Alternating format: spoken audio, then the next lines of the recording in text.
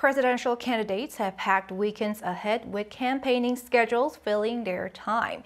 Candidate Lee Jae-myung from the Democratic Party on Saturday campaigned in Jeollabuk-do province. He visited the cities of Iksan and Jeonju, promising regional development. Later in the afternoon, he plans to rally in Seongnam City in Gyeonggi-do province, where he is expected to promise to improve the livelihoods of citizens through his policies.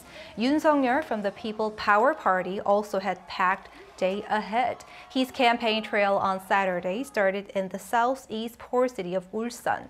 Then he plans to work his way down south to Gyeongsangnam-do province. Here he is to tout his pledges to build infrastructure and expand transportation to develop the southernmost cities.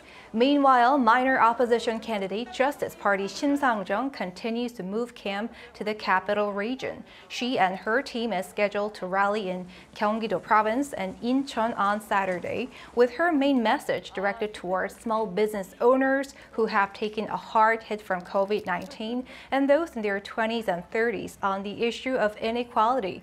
Meanwhile, candidate Ahn Cheol-soo from the People's Party has returned to action after a three-day lull in campaigning. Earlier this morning, he volunteered at the COVID-19 health center in Seoul's Jung-gu district with his wife, who has just recovered from COVID-19.